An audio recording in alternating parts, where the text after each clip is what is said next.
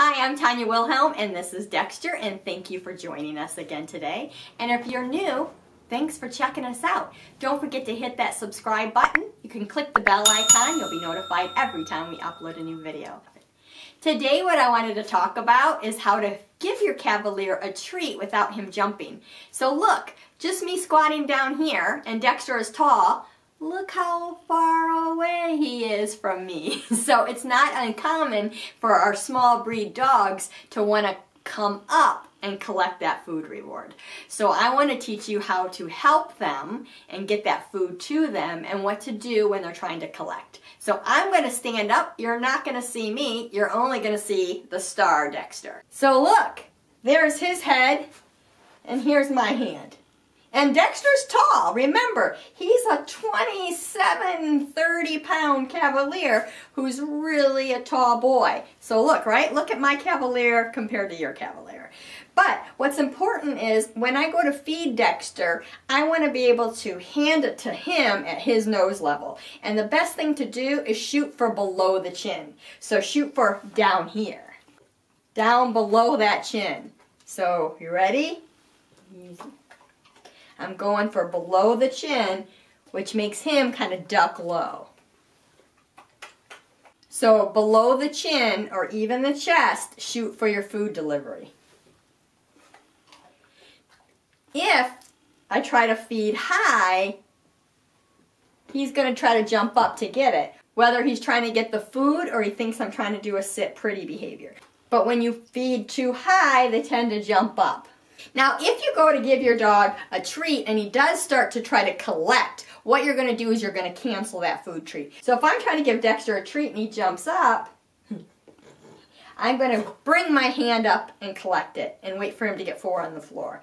And I'm going to try to present it again, and if he keeps four on the floor, I'm going to give him the treat. So as long as four are on the floor, he's going to get the treat. If he jumps up to collect, I'm going to swipe that treat back up to my chest and wait for him to get four on the floor. Now Dexter doesn't do that often for me because he's in that training mode. He knows, oh, mom's training, mom's giving me food. I better keep that four on the floor. If it's really hard for you to get low to your dog, the other thing you can do is go find it and drop it and let them get it. Find it. This is where snoods come in. So if it's hard for me to get down, I'm going to go find it. That find it indicates that there's something for him to look, to find, to sniff, or eat. Find it versus I'll leave it. Remember, consistency is key if you want your dog to learn not to collect a food reward, then we need to be consistent. Every time you reach down to give him a food snack or anything else and he jumps up to get it, you cancel and bring it back up and wait for the four on the floor or an alternate behavior. When that alternate behavior happens, then they go to get the reward. If they jump up at that second time to get the reward, again, you just swipe it up. You repeat. You can't get it until you keep four on the floor as long as your four is on the floor, then you get it.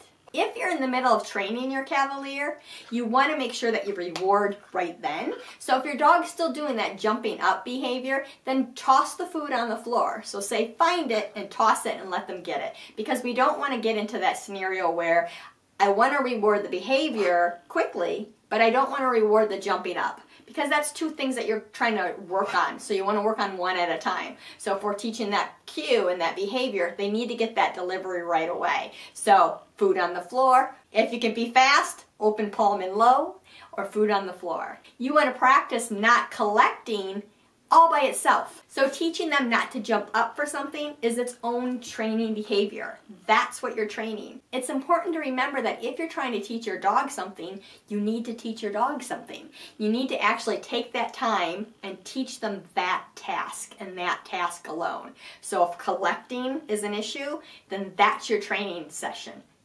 Collecting nothing else. Having that reward in your hand and practicing not collecting and doing that often. You can do that daily with part of their food. So whether it's dry kibble, which can be demonstrated just like that, if it's raw food, then you can actually take a spoon and do the same collection.